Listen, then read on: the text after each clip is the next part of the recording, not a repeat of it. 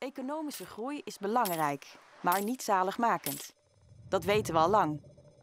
Boven een bepaald welvaartsniveau leidt meer economische groei niet automatisch tot meer geluk. En economische groei kan ook negatieve effecten hebben, bijvoorbeeld op natuur en milieu. Is het dan nog verstandig om te koersen op het bruto binnenlands product als dé maat die aangeeft hoe het met ons gaat? Nee, zeggen steeds meer economen. We moeten breder kijken dan economische groei alleen. Brede welvaart is een betere index.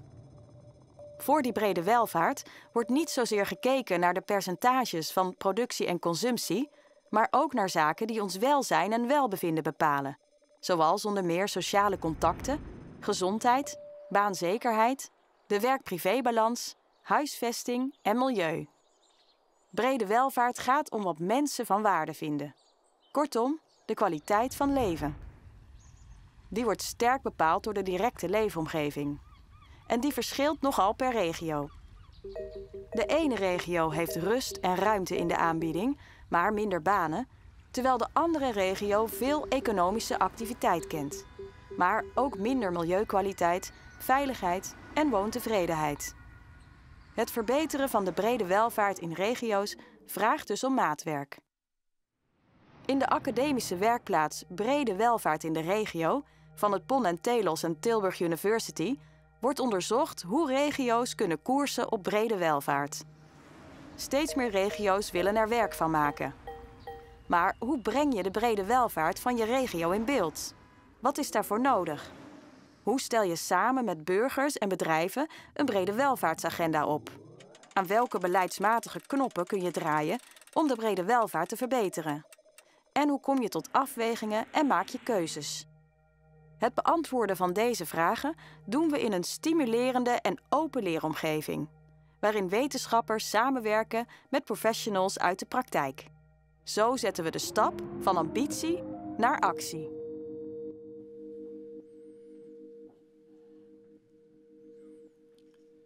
Een hele goede middag, dames en heren, en van harte welkom. En goed dat u kijkt naar de online lancering van de academische werkplaats Brede Welvaart in de regio uh, van de Tilburg University en het PON Telos. Mijn naam is Jorn Matena en ik ben vandaag de gespreksleider tijdens deze online lancering die we live uitzenden vanuit de Black Box van het universiteitsterrein, waar we het gaan hebben over hoe kunnen regio's nu op de beste manier koersen op brede welvaart.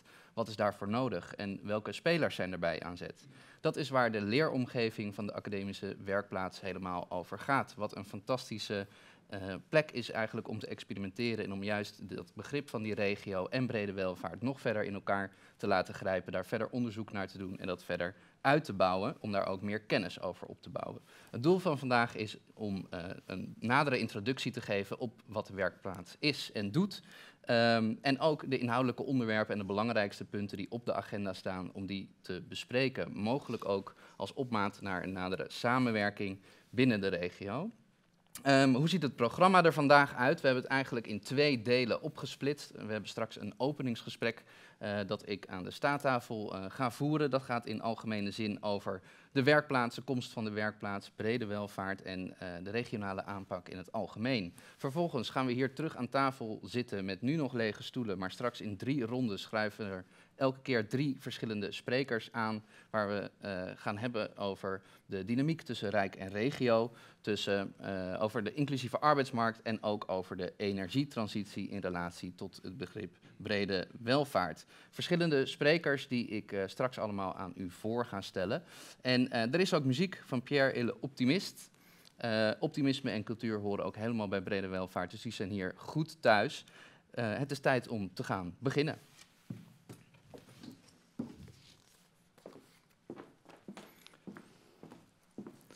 Ja, een hele goede middag. We gaan het openingsgesprek uh, voeren met uh, Wim van der Donk, voorzitter van het college van bestuur hier aan de Tilburg University. Uh, Rick Grashoff, wethouder van de gemeente Tilburg en oud-voorzitter van de tijdelijke Tweede Kamercommissie Breed Welvaartsbegrip, waar het allemaal mee begonnen is. Dus eigenlijk de, een beetje mede-aanstichter van het feit dat we hier nu staan en dat er zoveel aandacht is voor brede welvaart. En Pieter van Giel, uh, voorzitter van de stuurgroep Academische Werkplaats. Uh, alle drie welkom en ook uh, gefeliciteerd met deze lancering natuurlijk. eerst maar even, Wim, met jou beginnen. De komst van de Academische Werkplaats. Wat was de belangrijkste reden om die in het leven te roepen? Ik denk dat wij een universiteit zijn die, net als alle andere universiteiten, meer en meer doordrongen is dat we een maatschappelijke betekenis hebben. Dat het de vrucht van het mooie onderzoek en onderwijs dat hier gebeurt maatschappelijke betekenis heeft en moet doorwerken. Dat is één. Werkplaatsen en broedplaatsen zijn daarvoor belangrijk. En ik denk dat we zowel met digitalisering als met brede welvaart twee grondplaten van een veranderingen in de samenleving te pakken hebben, waarop je alles kunt bouwen, ook in combinaties. Dus dat, dat gaan we doen. Dat wordt een manier van werken die we belangrijk vinden. Verder is het zo dat welvaart, het is wel interessant dat we in een black box staan. Mhm. Eh, misschien is dat begrip ook wel iets van een black box. Uh, we denken uh, dat we weten waar het over gaat. Ja. Ik denk dat je deze universiteit nooit hebt kunnen betrappen op een smal begrip van welvaart, eerlijk gezegd.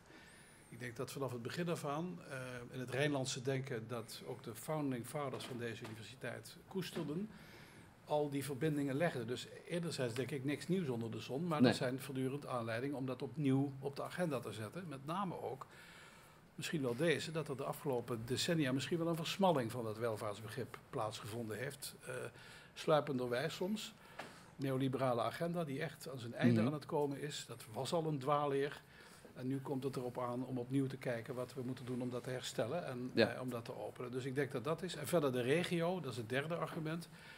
Ik heb eens ooit gezegd dat de echte economie is regionomics. Mm Dat is, hè, de macro-economie, micro-economie zijn me dierbaar, maar de, de echte economie zit in verhoudingen, verbindingen, vertrouwen, uh, innovatie. Kijk naar wat steden hebben gedaan. Dat is al met Florence, met andere, waar universiteiten ook altijd al bij waren. Dus ja. eigenlijk, ja, voor de zoveelste keer gaan we dit opnieuw doen in een nieuwe tijd met weer nieuwe mensen en nieuwe partners. En namens het college kan ik zeggen dat we er heel blij zijn dat er zoveel partners intekenen. Hè. Eh, ja. De stad, de regio, maar ook alle anderen die hier vandaag dit meedragen. Dus uh, het is wel reden voor een, voor een feestje. Heel goed, mooi.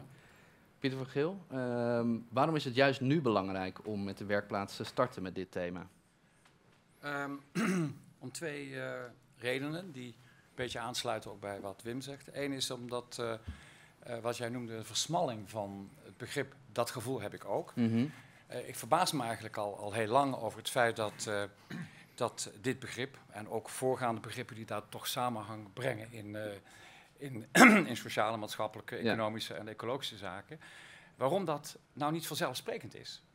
Uh, waarom is dat niet vanzelfsprekend dat in een omgeving, ook in de bestuurlijke politieke omgeving, dat mm omarmd wordt? En dat is op zich heel raar. En ik denk dat dat komt omdat uh, um, wij gewend zijn, ook in de departementale indeling, in de sectoraal werken, om uh, belangen te articuleren, specifieke belangen, en daarvoor ook te staan en daar ook te voor worden afgerekend. Dus als je mhm. een economisch belang articuleert, dan moet je dat toch scherp naar voren brengen. Ja. Dat geldt ook voor een ecologisch belang net zo goed hoor. Dus dat is wordt gehonoreerd, hè, want dan ben je helder, duidelijk. Uh, en als er dan ook nog komt dat in een maatschappelijke ontwikkeling, ik zal niet al te veel cultuurkritiek mhm. hierbij leggen, waarbij het ook nog, ook nog gehonoreerd wordt in de samenleving publicitair, dat je scherp en duidelijk bent, in plaats van dat je samenhang probeert te zien, mhm. dat dat ook niet gehonoreerd wordt en gewaardeerd wordt. Ja. En dat brokkelt af. En terwijl de noodzaak nou juist is voor die samenhang wel te zien. En dat, dus dat is één, dus dat is goed om dat uh, met elkaar ook te bespreken. En ik hoop dat er weer, weer uh, substraat in de samenleving weer ontstaat om dat weer wel te kunnen doen. Dus dat is een, misschien een, een hoop, hè, dat blijf je hopen. En de tweede reden is, die regionale component. Um, heel vaak denken we dat dit soort vraagstukken op uh, nationaal niveau spelen. En dat is ook mhm. wel zo. We hebben planbureaus die dat samen ook werken en proberen ook op een integrale manier te doen. Ja. Maar we, uh, we vergeten dat natuurlijk een soortgelijke vraagstukken op regionaal niveau spelen. En als het mhm. dan gaat om economische, sociale, maatschappelijke vraagstukken, dan denken we vaak aan die hele mondiale ontwikkelingen van arbeidsmarkten en van haven. Maar als je kijkt naar de feitelijkheid, dan is natuurlijk zo'n economie wel degelijk heel sterk verankerd in een regio. Dat er ook wel leveringen zijn uit de rest van de wereld, klopt wel, maar de kern blijft nog steeds in soms een wat ruimere regio, waar al die aspecten toch dominant zijn en in samenhang bekeken zouden moeten worden. Ja, zeker. Nou is het nou zo dat uh, in dat brede welvaart valt van alles onder. Het kunnen ook thema's zijn die elkaar bijten. Hoe kan je daar op een goede manier mee omgaan? Als, om het toch in samenhang te bekijken. Nou, kijk, uiteindelijk tenminste daarvoor eh, eh, zijn zeker uit beroepsgroepen waar ik en ik uit, eh, uit, Mhm. uit stammen en een politieke omgeving toch. Ja, we hebben met elkaar afgesproken dat als het gaat om waardering van essentiële elementen vanuit publiek belang, dat we daar een structuur hebben aangegeven Ja. hoe wij collectieve besluitvorming tot stand komen. Dus ik hoop dat die dan die, ook die kaders stellen, helder stellen. Eh, want als dat alleen maar een, eh, een, een overlegstructuur wordt om allerlei belangen met elkaar te verbinden, zonder heldere kaders, dan ben je niet aan het polderen, maar dan maak je er echt een rotzooi van. Dus eh, die tegenstelde belangen die horen gewoon ook helder op politiek niveau gearticuleerd te worden. En vervolgens ook ruimte te geven aan de samenleving om dat op een goede manier met, in te vullen. Maar zonder die politieke kaders en bestuurlijke kaders kun je ook niet werken in dit soort tegengestelde, met Nee. dit soort tegengestelde belangen. Nee, heel goed. Ik kom zo bij jou voor de, eh, inderdaad de tegenstelling tussen ja, de nationale aanpak en de regionale aanpak. Het verschil daartussen eh, en de dynamiek. Maar misschien ook goed om even nog te- uit te leggen, de academische werkplaats. Hoe gaat die precies eh, opereren? Nou, de, de, ehm, het belangrijkste vind ik dat we rondom die thema's die je zelf ook al in inleiding noemt, want je moet een zekere focus aan, aanbrengen. Mhm. Eh, nou, dat is die arbeidsmarkt, maar dat is ook de energietransitie. Dat zijn typisch voorbeelden waarbij eh, ook al in, bij de start van en het denken over de werkplaats gezegd werd dat dat juist die bredere aanpak vereist. Kijk Ja. naar de actuele discussie over de energiearmoede, wat tegenwoordig geloof ik de term is. Maar dat is ook een van de redenen geweest waarom de academische werkplaats gezegd heeft. Dat zijn thema's die we in samenhang met elkaar moeten bekijken. Mhm. En dat speelt ook als het gaat om ruimtelijke ordeningaspecten op dat re- regionale niveau van de resten van de regio. Dus kortom. Eh, ja, en de werkwijze is vooral dat we hopen dat met maatschappelijke organisaties, gemeenten, daar pakketten, programma's, projecten gemaakt kunnen worden om de academische kennis en kunde in deze regio met, met te verbinden met eh, het enthousiasme en bestuurlijke inzichten Ja. in deze regio. Dat, dat, die, dat zal de, de basis moeten zijn voor, voor de werkplaats. Misschien nog één zin Ja, zeker. is dat werkplaatsen zijn ook altijd broedplaatsen. Mhm. Dus het is niet alleen maar doen wat we al vonden. Dus laten we ook een beetje ruimte geven voor ontwikkeling. Het zijn academische werkplaatsen ook. Ja. Dat wil zeggen ingebed in een universiteit die zijn regionale netwerk heeft. En ik ben er absoluut van overtuigd dat juist in die interactie met die praktijk een aantal fundamentele vragen naar boven komen. Mhm. En dat een aantal fundamentele eh, mensen die met fundamenteel onderzoek bezig zijn, heel conceptueel op de lange termijn, Ja. In die praktijken ook weer uitnodigingen zien om dat alleen Ja. maar steviger ook Ja. te verbinden. Dus ik zie daar alleen maar kans. Ik maak het onderscheid tussen broedplaats en werkplaats. Ik zie Mhm. in digitalisering en de conceptualisering van brede welvaart echt twee hele fundamentele. Dan heb je energietransitie, klimaat, arbeidsmarkt. Dat zijn eigenlijk nou, pijlers die we erop kunnen bouwen. En we zien wel hoe het gaat. Als je vraagt hoe zal het precies gaan, ik hoop niet dat iemand dat nu al kan zeggen. Nee. We moeten ook ruimte geven om het nog verder te ontwikkelen en ook een beetje kansen te geven. Dus voel Ja. je ook uitgenodigd, zou ik zeggen. Iedereen en die kijkt om, om mee te gaan doen. Hè? Ja. Om, om, om stakeholder te zijn, Ja. belangstellig. Dus Echt als vrijplaats voor het onderzoek en voor de verdieping daarop. in de verbinding. Ja, heel goed. Er wordt gezegd, nou, er is een, inderdaad een smallere focus op welvaart, wat, wat ook eh, steeds meer opgerekt wordt, dus steeds meer verbreed wordt. Daar moet eh, de werkplaats ook een eh, bijdrage aan gaan leveren. Ehm, het verschil tussen misschien dat nationale perspectief en het regionale perspectief, Rick, hoe kijk jij daar tegenaan? Ja, om dat ehm, iets eh, toe te lichten, er zitten overigens heel veel overeenkomsten in, wil ik even dat stapje terug naar de periode dat ik inderdaad die parlementaire commissie leidde. Ja. Je voorste parlementaire commissie is alleen maar sterk als die van links tot rechts over het politieke domein is vertegenwoordigd. Dus Mhm. van de SP, via GroenLinks, Partij van de Arbeid, CDA, VVD, waren allemaal vertegenwoordigd in die parlementaire eh, commissie. En zo'n commissie zegt alleen, heeft alleen maar enige impact als je het voor elkaar weet te krijgen om met elkaar eens te worden. Ja.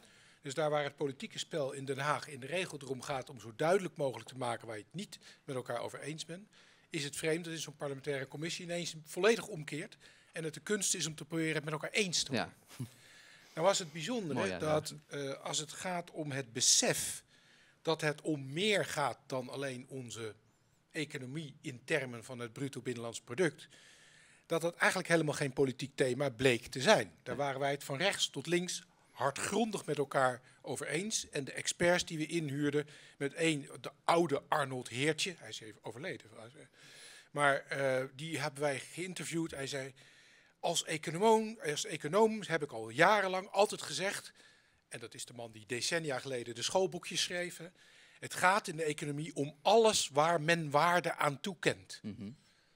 Oké, dat is even iets anders dan dat wij in ons doorsnee politieke eh, vertoog eh, eh, naar elkaar toe roepen. Ja. Dus wat we hebben gedaan is gekeken, hey, we gaan nu even ons politiseren. Wat niet betekent dat vervolgens politiek niet meer zinnig is en alles waardevrij wordt of zo. Eh, eh, dat is het niet. Maar wel dat je met elkaar zegt, als je nou eens gaat kijken naar wat definieert nou eigenlijk die brede welvaart? Welke aspecten komen nou aan de orde? En zou je het kunnen onderzoeken? Zou je het meer kunnen objectiveren? Mhm. Ontwikkel je dan wellicht een tool, een stukje een gereedschapskist, Ja. die het mogelijk maakt om vanuit die oude verzuilde structuur met die ismen, hè, die wisten hoe de samenleving in elkaar zat en Ja. altijd gelijk hadden voor hun eigen achterban, om Ja. daar doorheen te breken. Ook weg te blijven van de fact-free politics van het populisme van heden ten dagen. En kijken naar een echte gereedschapskist. Wat is de basis voor waarop wij beleid voeren en voor wie doen we dat dan? Ja. En wat is de impact? Daar ben ik heel blij mee. Ik heb ook gezien dat het echt wel, ja, dat is een langzaam proces, maar je ziet het toch ook wel veranderen. Kabinetsformatie is dan misschien niet helemaal het goede voorbeeld hoe je omgaat met het collectief streven naar brede welvaart. Maar eh, ik zie dat toch terrein winnen Ja. op het nationaal niveau. Ik vind het buitengewoon belangrijk dat het stadsregionale niveau dat nu ook oppakt op allerlei Mhm. plekken. Ik vind ook heel goed dat er een regionale monitor intussen is. Hè. Die Ja. is eh, overigens keurig door de minister geïnitieerd en door het CBS uitgevoerd. Maar ik kan nu op Tilburg klikken en dan vind ik al heel veel gegevens daarover. En ik kan ook op Brabant klikken. Nou, de regio weet ik niet of die er helemaal goed in zit. Maar dat stadsregionale niveau, dat is eigenlijk inderdaad al van diep uit de geschiedenis buitengewoon relevant niveau. Ja. Hier heb je het niveau waarop je heel goed dingen kunt beïnvloeden en waarop het nog mogelijk is om de integraliteit van vraagstukken echt met elkaar te doorgronden en af te wegen. Ja. Wat ik zou hopen is dat zo'n werkplaats als die nu opgezet wordt echt kan helpen in de vorm van impactanalyses. Van Mhm. wat zijn we nou aan het doen? Wat zijn we aan het vergeten met elkaar? Ja. En wat zijn dan de effecten in de breedte op het, eh, het bre- de brede welvaart van een ieder? Als we dan even inderdaad inzoomen op, op deze regio, hè, je kan hem aanklikken. Wat, wat komt er dan naar boven? Wat, is, eh, wat staat hier in ieder geval op de agenda om aan te pakken als het gaat om kwaliteit van leven? Nou ja, dat, dat, dat lijkt dan één die ik eh, dan zo taf, taf, taf even neer kan zetten. En dat is dus niet zo. Mhm. Het is niet zo eenvoudig. En als het zo eenvoudig was, hadden we geen academische werkplaatsen nodig, denk ik. Nee. Eh, konden we het als bestuurders allemaal prima in vijf minuten wel zelf beslissen. Maar je ziet dus dat terwijl aan de ene kant er enorm positieve ontwikkelingen zijn op het vlak van brede welvaart in een stad als Tilburg en omgeving, Ja. dat ze wel heel erg verschillen naar plaats, naar plek in de stad en naar groepen in de stad. Ja. En dat is ook een van de dingen waar die brede welvaart venijnig wordt. De brede welvaart van de een kan nog steeds in de weg staan aan die van de ander, Ja. of die van nu in de weg staan aan die van de toekomst. En dat begrip, dat pakt die drie elementen, ja, dan, dan wordt het even wat complexer om het met elkaar te bepalen. Ik denk als je de beweging van smal naar breed maakt, zowel de hele optiek van welvaartsgroei Mhm. als welvaartsverdeling, welvaartsontwikkeling, komen in nieuwe perspectieven staan. In die zin is het, je noemt heertjes mooi. Ik ben heel trots erop dat hier in Tilburg de, de nieuwe kern van de economie geschreven is door Lans Bovenberg. Vorige Ja. week gepresenteerd, Mensen en Economie, waar als het ware dit denken eigenlijk al in de, in de leerboeken landt. Dus in die zin is er, zijn er op meerdere niveaus wat aan de hand. Niet dat we het allemaal al weten, want ik ben het absoluut met je eens, Rick. Er is zoveel onderzoek nodig om dit goed te doen. Om het ook te kunnen objectiveren. Hè, om, om dat echt Ja. eh, in het debat door te werken. En het vraagt ook om het. Ik sprak laatst met onze opleiding eh, accountancy. Hè, en, en daar zie je ook al dat het gaat op allerlei beroepenvelden doorwerken. Alleen hoe we de dingen opschrijven. Of hoe we de dingen in kaart brengen. Dat gaat op een heel breed front gaat het idee van brede welvaart echt doorwerken en betekenis krijgen. En dat vraagt veel studie onderzoek en inderdaad voortdurende interactie tussen de mensen die er al mee bezig zijn in de praktijken. Ik merk ook bij de ondernemers in de regio dat er een enorme behoefte is om de vraag te stellen: oké, hoe doe ik dat dan? En wat Mhm. betekent dat voor Ja. mij op mijn microniveau? Hè? Want ik noemde net het regioniveau als meso-economie heel belangrijk, maar de microwereld is eigenlijk ook wel ja, op zoek naar nieuwe oriëntaties hoe dat kan. Eigenlijk bedoel je ook dat we, zoals ik bedoel, dat we ook bestuurders hebben. En daarom doe ik altijd in dit soort gremia zeg eh, aan de politici en bestuurders van gemeenten, regio's. Ja. Om inderdaad je kwetsbaar op te stellen, want dat begint het mee. En dat is best lastig voor eh, de groep om dat te doen. En waar, waar liggen de behoeften van de ondernemers? Dus kijk naar dat microniveau. Nou, wat ik zo tegenkom is, dat, dat is wat Wim ook zegt. Als ik mensen spreek over, eh, dan Je moet even beseffen dat heel veel ondernemers, heb ik het niet over de hele grote bedrijven, hè, de ASML's van deze wereld, maar gewoon heel veel midden- en kleinbedrijven. Die hebben het hartstikke druk, die hebben het gewoon van alles aan zijn hoofd. Maar ze snappen donders goed dat de kwaliteit van hun producten in de samenleving en wat ze doen, Ja. dat dat die maatschappelijke verankering moet krijgen, dat het duurzaam moet zijn. Maar ze weten soms het begin niet waar ze moeten beginnen. En dat is, dat is best een probleem. Dus die notie voeden ze. En die zijn niet onredelijk. Nee. Maar je mag ze best mee helpen om eh, en, en elkaar inzicht te krijgen hoe dat moet. En Ja. je ziet ook tal van kringen ontstaan van ondernemers die dan in dat midden- en kleinbedrijf die met elkaar kijken hoe dat eh, zou moeten. En als, en, en, want ze voelen heus wel de grondtoon van de samenleving aan dat het ook, ook moet. Eh, ehm, en, en, en dat is heel plezierig. En als daar de academische werkplaats richting die overheden en, en maatschappelijke organisatie die rol kan vervullen om, om dat wetenschappelijke, wat Wim ook bedoelde, en die wisselwerking tussen die praktijk in deze regio tot stand te brengen met dat Brabants kleurtje, want dat mag het ook best zijn. Hè. We hebben Ja. ook maatschappelijk en sociaal gezien ook wel een specifieke provincie. Ook economisch hebben we een profiel wat eh, best wel afwijkt van een groot deel van Nederland. Hè. Ik bedoel, eh, kijk maar eens waar de economische ontwikkeling langs die assen naar het zuiden toe gaat. Dus er zijn een aantal specifieke punten in deze regio die het extra belangrijk maken om in dit tijdsgevricht dat, dat brede welvaartsbegrip te operationaliseren. Ja, heel mooi. Oefenen, het oefenen met korte en lange termijn bijvoorbeeld. Ja. Ik, ik las net vandaag, CIMAC bestaat 50 jaar. Dat is een bedrijf Mhm. dat van de beurs gehaald is om het weer echt goed te doen. Wat kunnen we leren van ondernemers die in generaties durven denken en niet alleen in drie maanden van de beurs? En daar zit natuurlijk echt, eh, dat is een makkelijke tegenstelling, dat, de werkelijkheid is natuurlijk veel ingewikkelder. Maar het oefenen in korte termijn afweging en lange termijn afweging is iets wat we eigenlijk een beetje kwijt lijken te zijn geraakt. Terwijl dat eigenlijk vroeger een soort natuurlijk moment ook in onze economieboeken was. Hè? En nou, dat is veel te simpel wat ik nu zeg, maar het idee dat je daar dus een agenda kunt maken die zowel voor het fundamentele onderzoek als voor hele concrete vragen van ondernemers, eh, beleidsmakers. Ik denk dat we echt wat kunnen neerzetten met deze eh, werkplaats, die ook voor mij betreft ja, echt een ambitie van uitstraling naar Ja. anderen mag ontwikkelen. Ja, mooi. Dat is een eh, mooi bruggetje inderdaad, want de academische werkplaats moet inderdaad die inzichten eh, gaan bieden. eh, die in deze regio worden opgedaan en die kunnen ook weer inderdaad landelijk goed gebruikt worden. Om weer even wat verder uit te zoomen. de minister, of demissionair minister Carola Schouten van LNV heeft ook speciaal voor deze lancering een videoboodschap ingesproken. Waarin zij ook ingaat inderdaad op die wisselwerking tussen de regio en het Rijk. Daar gaan we even naar kijken. Beste Alle en beste Pieter. Ik wil allereerst de Universiteit van Tilburg en Pontelos van harte feliciteren met, zoals het zo mooi heet, de werkplaats.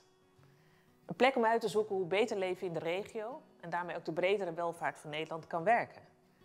Waar je ook samen kennis ontwikkelt. En volgens de beste academische tradities in goede verbinding met de praktijk en met de regels. En dat lijkt ook wel op de manier waarop wij als kabinet de uitdagingen willen aangaan. We willen zorgen dat mensen kunnen starten met hun betrokkenheid bij de omgeving. Zeggenschap krijgen over wat ze waardevol vinden. En ook mogelijkheden zien. In ieder gebied en in iedere regio, ook buiten Tilburg of de Randstad. En dat is belangrijk. Voor mensen, voor de brede welvaart, maar ook voor meer verbondenheid in de samenleving.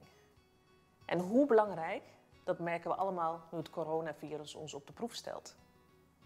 Verbondenheid is dan ook een gewenste bonus bij de regio-deals. En elk van de tot nu toe 30 deals sluit aan op plannen die lokaal in alle uithoeken van Nederland worden gesmeed en waar mensen graag ook hun energie in steken. We ondersteunen dat bijvoorbeeld via, via participatiefondsen, maar ook door gerichte afspraken rond natuurontwikkeling, passende woningen, scholing of iets anders. En samen maken we zo Nederland mooier en sterker. En het is goed dat brede welvaart in Nederland straks bij u in Tilburg zijn wetenschappelijke beslag kan krijgen.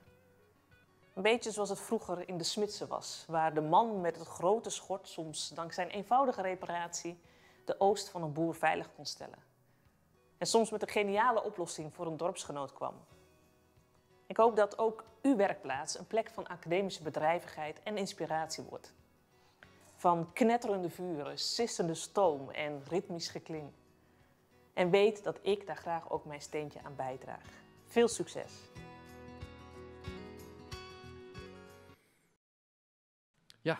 Eh, felicitaties vanuit eh, de minister, maar ook eh, de wens om knetterende vuren te hebben in de werkplaats. Misschien, nou, wat, wat, is, wat, hoe zien jullie dat? Wat, is, wat zouden de knetterende vuren kunnen zijn vanuit de werkplaats? Wat is de meest belangrijkste wens eigenlijk voor wat de werkplaats gaat zijn en doen? Rick, mag met jou beginnen. Nou, als ik aan knetterende vuren denk, dan denk ik aan iets wat, eh, wat dan, laten we zeggen, in figuurlijke zin knettert. Dus dat zou betekenen dat er toch ook wel um, uh, onderzoeken op gevoelige punten tevoorschijn mogen komen. Ja. Die gevoelige zaken aankaarten, waar wij als bestuurder soms bepaald mee uh, verrast en wellicht onaangenaam verrast ja. bij voelen. Heb je een dat hoort er dan bij. Hè? Heb je een voorbeeld van zo'n nou dilemma? ja, kijk, als je uh, via een onderzoek hier in de werkplaats aantoont dat bepaalde aspecten van ons gemeentelijk beleid gewoon keihard averechts werken, ja. en dat zou zomaar eens kunnen zijn, dan hoor ik ze liever vandaag dan morgen. Maar ja, als dat zo is, dan krijg je wel in je verantwoordelijkheid als bestuurder, heb je wat uit te leggen naar je gemeenteraad en naar de stad. Ja.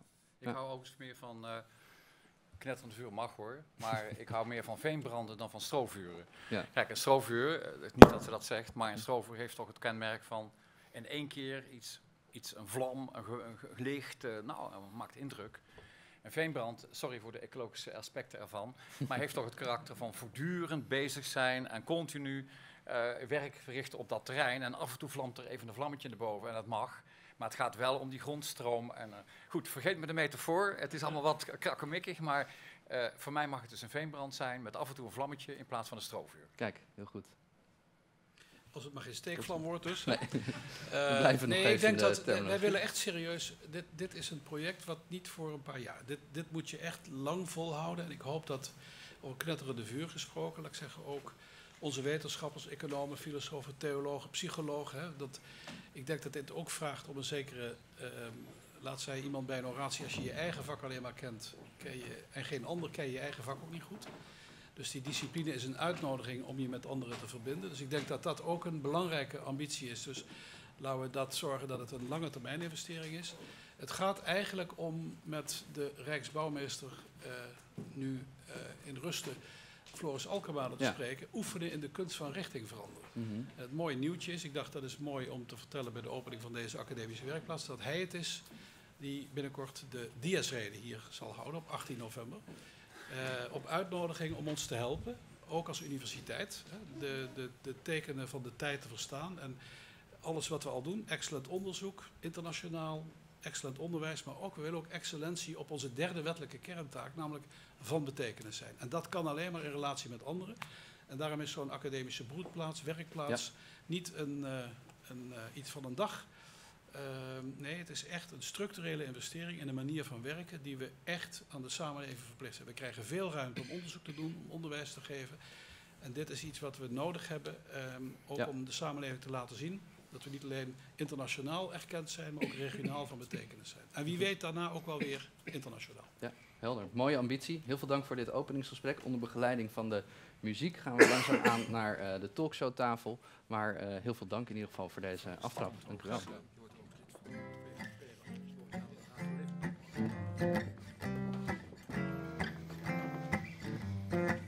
Tu peux tout prendre.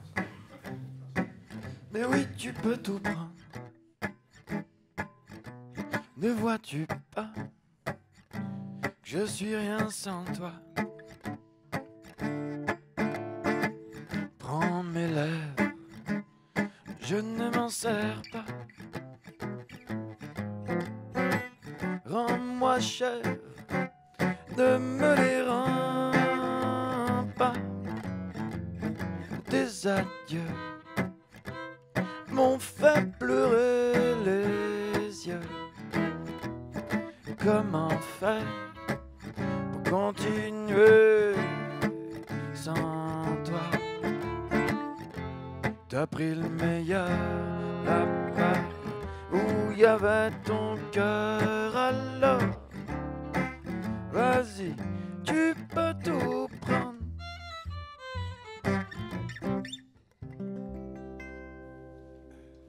dank. Muziek van Pierre Hele Optimist.